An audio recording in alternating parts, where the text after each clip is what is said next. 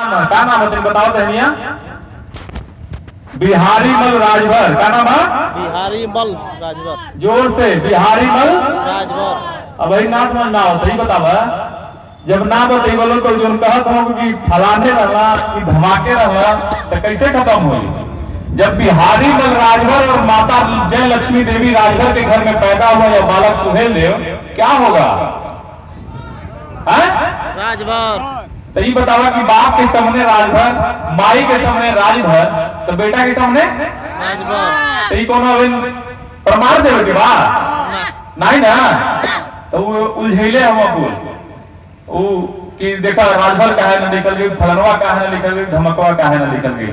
मित्रों अभी मैं कहना चाहता हूँ अभी डॉक्टर साहब ने बताया है कि मूल चीज़ों को समझने की आवश्यकता है। विजय राजभर की पहचान उसके बाप के नाम से, श्री नंदलाल राजभर के नाम से होती है, मित्रों। इसलिए आप सभी से मैं कहना चाहता हूँ कि जो भी अगर कुछ कहता है आपको कि आप फलाना क्यों नहीं लिखते, धमाका क्यों नहीं लिखते हैं तो आप सीधा सीधा उनके कहिएगा कि बिहारी मल राजभर के घर में माता जयलक्ष्मी देवी राजभर के कोख से पैदा हुआ। यह सुहेल देव और कोई नहीं, सिर्फ़ राजभर ही हो सकता है। इसलिए इसका जवाब आपको देने की ज़रूरत है भिड़ने की ज़रूरत नहीं आप उनके बाप का नाम, उनकी माँ का नाम। बताएँगे ना? लड़िया लोग मत झगड़ा मत करिए लोग ठीक? ये पहला संदेश था। इस संगठन का विस्तार हम सब इसलिए कर रहे हैं कि संगठन में वो शक्ति होती है कि डॉक्टर साहब द्वारा कही गई जितनी बातें हैं, आज एक हज़ार से यदि गाँव में जाएगा। जाए ना? इस संगठन में रह कि तुम लोग इतना आगे रह लो। समझ में आई ना? इस संगठन की शक्ति होती है इसलिए संगठन पे हमेशा विश्वास करिएगा। और प्रत्येक गाँव में, जिन जिन गाँव में अखिल भारतीय राजभर संगठन का बैनर रहेगा, उस बैनर के नीचे आ जाइएगा। ऐसे ही कोई डॉक्टर मिलेगा, कोई इंजीनियर मिलेगा, कोई और आपको पढ़ा लिखा व्यक्ति मिलेगा, जो आपको ऐसी ज्ञान की बात देगा कि आप जाकर के महाराजा सुहेलदेव जी, कहे गए बातों को, कहे, किए गए कर्मों के आधार पर आपको आगे बढ़ने का मौका मिलेगा, मित्रों। ये सिर्फ़ अखिल भारतीय राजभर संगठन के बैनर तले आपको मिलेगा। आप बहुत सारे कार्यक्रमों में आए गए होंगे। नेता खड़ा होता है, सिर्फ़ कोसता रहता है दूसरे दलों को। तू अला खाना खैला, पानी पीला चल गया। लेकिन मुझे इस बात का गौरव है कि मेरे एक आमंत्रण पे आप सभी सुबह दस बजे से और तीन बजने जा रहा है।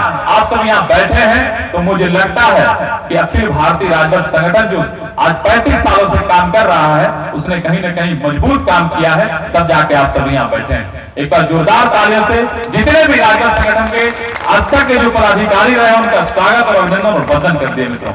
मेरी बात खत्म नहीं हुई, मैं बताना चाह रहा था कि जन्मा बालक सुहदेव बहराइच की धरती पर जब उसकी आयु अठारह साल होती है तो जो उनके पिता थे, बिहारी बल राजभर, उनके शौर्य को देख के, उनके तेज को देख करके उनको लगा कि हमारा बेटा राजपाट संभाल सकता है तो उन्होंने मात्र 18 साल की आयु में उनको अपना राजपाट उनको सौंप दिया। और राजपाट सौंपने के मात्र दो महीने बाद दिल्ली की तरफ़ से मुगल आक्रांता, सैयद सलाम मशहूर गाड़ी का आक्रमण होता है और दिल्ली की तरफ़ से सारी रियासतों को लूटता हुआ जब वो लखनऊ की धरती पे आता है तो महाराजा सुरेंद्र के कानों में खबर आती है कि कोई दूर बैठा आक्रांता इस धरती पे आ गया है। महाराजा सुहेलदेव देर न करते हुए, उन सारे अगल बगल के जितने रियासतें थी, जितने राजा थे वहाँ, सारे लोगों को इकट्ठा करते हैं। और ऐसे ही पंचायत बैठाते हैं और पंचायत में बैठ करके जब पंचायत को उन्होंने बुलाया था, उस समय कुल 22 राजा वहाँ इकट्ठा हुए थे। और उन 22 राजाओं में सबसे छोटी आयु जिनकी थी, वो महाराजा सुहेलदेव मात्र 18 साल की आयु की थी। सारे बाईसों राजाओं को जब उन्होंने बुलाया, उन्होंने बताया कि मुगल आक्रांता है इस देश को लूट रहा है। इस देश की इज़्ज़त आन बान और शान को त्राईमान बचा करके काट रहा है, पीट रहा है। तो सारे राजाओं ने जो वहाँ बैठे थे, जिनकी आयु किसी की साठ साल थी, किसी की अस्सी साल थी, किसी की पैंतालीस साल थी, उन्होंने अपना हाथ खड़ा कर लिया कि महाराजा, सुहेलदेव, आप तो चूँकि नए हैं, आपके पीछे आपके पिता हैं, आपके तमाम भाई बहन हैं, लेकिन हम सबों की स्थिति बड़ा असमर्थ है, हम सभी उसका नेतृत्व नहीं कर पाएँगे। जो भी वो शर्त देगा, उस शर्त में हम सभी अपने आप को सम्मिलित करके हम सभी उसके तलवार के नीचे आ जाएँगे। लेकिन वो अठारह साल का नौजवान, वो कहता है कि आप सभी चिंता न करिए, आप सभी नेतृत्व नहीं करेंगे, कोई बात नहीं। लेकिन हमारे नेतृत्व में हमारे पीछे तो सब चल सकते हैं ना? तो सारे वहाँ राजा जो उपस्थित थे, उन्होंने कहा कि बिल्कुल हम चल सकते हैं, युवा साथी। मैं फिर एक बार कहना चाहता हूँ कि एक नारा था कि जिस ओर जवानी चलती है, उस ओर जमाना चलता है मित्रों, उस एक हज़ार साल पहले कही गई बात आज भी प्रमाणित करती है कि जो एक अठारह साल का नौजवान जिन्होंने नेतृत्व किया, और नेतृत्व ऐसा कि कहा जाता है कि डेढ़ लाख जो सैनिक मुगल शासक लेके आया था सैयद सलार मसूद गाजी, उनको भुजिया की तरह काटने का काम महाराजा सुहेलदेव ने किया था, और इस प्रकार का पूर्ण युद्ध हुआ था कि दो सौ साल तक किसी भी मुगल आक्रांता में शक्ति नहीं हुई, ताकि वो इस धरती को झाँक सके मित्रों। ऐसे माँ भारती के वीर सपूत महाराजा सुहेलदेव राजभर जी के जन्मोत्सव के कार्यक्रम में हम सभी एकत्रित हुए हैं। और ऐसे को जो राजभर माताएँ जो यहाँ बैठी हैं, ऐसी पवित्र कोख से पैदा हुआ हमारा राजभर समाज का, वो 18 साल का नौजवान, जिसने सैयद सलाम मसूद की पाँच लाख सेनाओं को काट के भुजिया बना दिया दो सौ साल जरा सोचिए, दो सौ साल में तीन पीढ़ियाँ गल जाएँगी। तीन पीढ़ियाँ मुगलों की तरफ़ लौट के नहीं आई। लेकिन दुर्भाग्य रहा। दुर्भाग्य रहा कि जब हम इस देश, इस धरती को छोड़ करके महाराजा सुहेलदेव जब परलोक को सिधार गए तो अभी आपने बताया था कि जिस समाज से संस्कार खत्म हो जाता है, वो समाज स्वयं खत्म हो जाता है। लेकिन हमारा संस्कार समाप्त कैसे हुआ? इसको भी हम बताएँगे। हमको बड़ा गर्व महसूस होता है कि हम ताल तलैया के टीम में रहते हैं। हम नदी पोखरों के बीच में रहते हैं। हम वहाँ रहते हैं जहाँ लोग सुबह प्रातः काल शौचालय करने जाते थे। हम वहाँ रहते हैं जहाँ गाँव का गंदा पानी निकलता है। मित्रों, हमें गौरव है इस बात का। अब तो हम सोचा था कि पागल हो गई है। कि ताल के नीचे हम अगर जहाँ गंदगी में रह जाए कहा था कि हमको गौरव महसूस होता। लेकिन मुझे गौरव है, इसलिए गौरव है कि मैंने इतिहास को पढ़ा है। और इतिहास के इतिहासकार लिखते हैं जब मुगल शासक जो आक्रांता था जिसको महाराजा सुहेलदेव ने मारा था जिसको जिसकी सेना को गाजर और मूली की तरह काट के रख दिया था। जब उसके बाल बच्चे, जब उसके वंशज इस देश में पुनः आक्रमण करते हैं तो इस देश में उन्होंने सबसे पहले किसी को अपना हमला किया किसी के ऊपर, वो राजभर समाज के ऊपर हमला किया था। उस दौरान महाराजा सुहेलदेव स्थिति पे नहीं थे। जब वो आया था तो आकर के राजा बस्तियों को उजाड़ने लगा, उसको मारने लगा, उसको काटने लगा, हमारी बहन बेटियों को लेके जाने लगा। उठा ले जाता था, अपनी सेना के हवाले कर देता था। इससे बचने के लिए हमारे जो उस समय के जो पुरखे रहे होंगे जो पुरनिया रहे होंगे, उन्होंने बताया कि जो मुगल आक्रांता है। ये मुगल आक्रांता गंदगी से बड़ी दूरी रखता है। ये मुगल आक्रांता है ये गंदी चीज़ों से परहेज करता है। इसलिए इसकी एक वही विकल्प है कि ताकि हम गंदगी में चल जाए, या फिर इसके धर्म को हम लोग सम्मिलित कर ले, हम अपनी माँ बहन बेटियों को उसके हवाले कर देने चाहिए मेरे राजगढ़ समाज के नौजवानों, बुज़ुर्गों, हमारी माताएँ, बहनें, मुझे गौरव होता है उस समय जिन्होंने निर्णय लिया था कि हम उसके परिवार के नीचे नहीं आएँगे। हम अपनी माँ बहन को उनके घरों में उनके सैनिकों के हवाले नहीं करेंगे। लेकिन हम गंदी जगहों पर रह लेंगे। तब जाकर के आपको मिलेगा, मैं आपको बता देना चाहता हूँ, इस पूरे हिंदुस्तान में। आप कहीं भी राजगढ़ में चले जाइएगा, मैं बिहार गया हूँ, मैं महाराष्ट्र गया हूँ। मैं उत्तर प्रदेश का लगभग पूरा जिला मैंने भ्रमण किया है। और कहीं भी ऐसी राजगढ़ बस्ती नहीं मिलती है कि उसके सामने कहीं पार्क बना हो। कहीं भी ऐसी राजगढ़ बस्ती नहीं मिलती है, जहाँ वो कहीं अच्छी जगहों पर रहती है। वो वही रहती है, जहाँ जाने के लिए रास्ता नहीं होगा। वो वही रहती है, जहाँ गढ़ी होगा। वो वही रहेगी, जहाँ ताल होगा, जहाँ तलैया होगा, जहाँ नहर होगा। तो हम इसलिए आ गए ताकि हमारी माँ बहन बेटियाँ सुरक्षित रहे। वो मुगल शासक था। उसको जाने के लिए रास्ता न रहे इसलिए हम जाकर के भीटे के टिक गए थे जो आज देखो देखो तो भीटवा खाली करे के भी सरकार कॉमेंट कर भीटवा खाली कर बोला ना? वो वही था। एक काम और वो भी करते थे। एक काम और करते कि आपसे 10 साल पीछे जब जाएँगे, मैं अपने नाना के घर अजोरपुर जाता था तो वहाँ दिखता था। भरोटे में प्रत्येक राजभरों के घर के सामने सुअर बांधी जाती थी। बताओ कितना लोग जाना था हाथ बताओ। सुअर बना रहे ना रोटी में। क्यों मारे जाते थे? ये मैं आपको बताता हूँ। इसमें कोई ये नहीं था कि आप गंदे थे।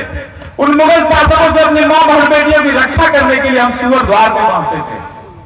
हमारे घर में कोई आयोजन होता था, कोई बाल बच्चा पैदा होता था किसी माँ की कोख से तो वो आता था बड़ा तहस नहस करता था, उन बस्तियों को भी दूर से आग की लुकार फेंक देता था, दिल में जल जाते थे, लोग हत्याएँ करता था। उन सारी चीज़ों से बचने के लिए हमने अपने द्वार पे, अपने गाँव में सुअर को बांधना शुरू किया। और सुअर को इस्लाम में नापाक कहा गया है। नापाक, जब वो बाँध दिया जाता था तो मुगल आक्रांता उसे डर के भाग जाता था तो इसलिए सुअर बांधी जाती है यही नहीं जब मैंने इतिहास में और आगे बढ़ा तो उसमें एक और मिली, कि बस्तियाँ थी राजर समाज के लोग उसमें अपना जीवन यापन करते थे। गंदी जगहों पे रहते थे।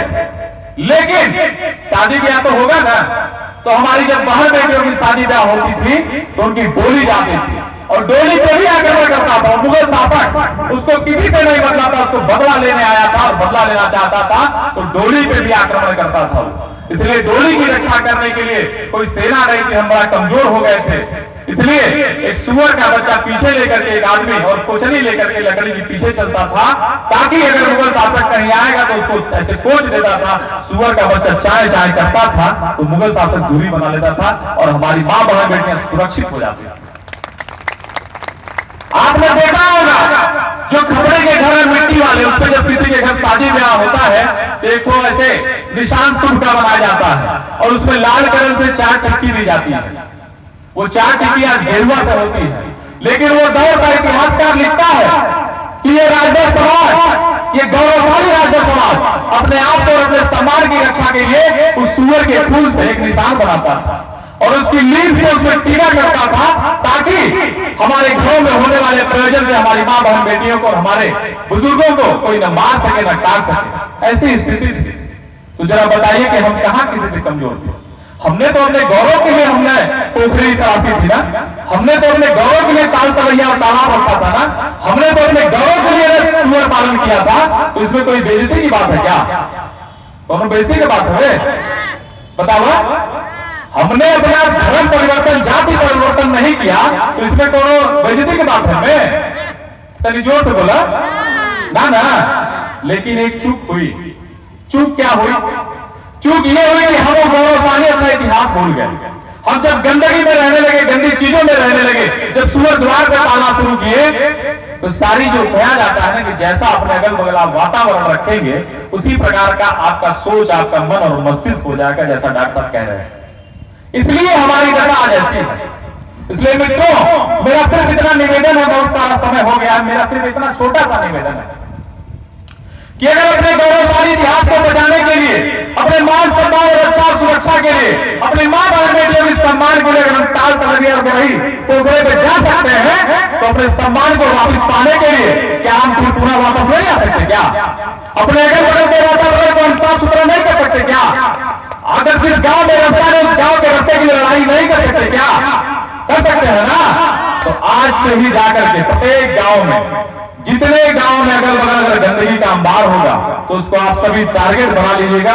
एक दिन अतवार का तय करके पूरे गाँव के लोगों को और अखिल भारतीय दल संगठन के बैनर तले वहाँ स्वच्छता अभियान चलाइएगा। चलिए ना? बिल्कुल चलना चाहिए। दूसरा कार्यक्रम यहाँ से संदेश लेके जाइएगा। अगर आपके गाँव में रास्ता नहीं होगा तो एक एक गाँव का जो अखिल भारतीय आदर्श संगठन का जो पैड होगा, जो बैनर होगा, नहीं होगा तो फ़ोटो कॉपी करा लीजिएगा। और उस गाँव का एक चिन्हित करके अपने ब्लॉक के वीडियो को दे दीजिएगा। और उसे कहिएगा ये रख लीजिए। अब अखिल भारतीय राजदल संगठन के नेतृत्व में राजदल समाज जा चुका है रास्ता हमारा बनाना चाहिए ऐसा कह के आइएगा। कहेंगे ना? और उसकी एक कॉपी हमारे ऑफ़िस में दे दीजिएगा मित्रों। ये दो काम आप ज़रूर करिएगा। बाकी की लड़ाई आपका पूरा संपूर्ण लड़ाई जितने भी होगी, आपको क्या चाहिए, आपके बच्चे को क्या चाहिए, आपके भविष्य को क्या चाहिए, ये पूरा यहाँ बैठा जो मंचस्थ और हमारी पूरी जो टीम होगी, वो करेगी। मैं इन्हीं सारी बातों के साथ हमारे दूर दराज से आए हुए माताएँ बहनों का, आप सभी मित्रों का, नौजवानों का, पूरी टीम का हमारे बीच में बैठे हमारे आदरणीय ब्रजेश जी ओम प्रकाश पांडे जी, राघवेंद्र राय जी, साथी कलाकार का, सबका मैं हृदय की गहराइयों से आभार व्यक्त करते हुए आप सभी को पुनः एक बार अभिनंदन, वंदन, आप सभी का स्वीकार करते हुए अपनी बातों को विराम देने से पहले जरा एक बार अपने अपने स्थान पर खड़े हो जाइए। एक बार जोरदार नारा लगना चाहिए, बोले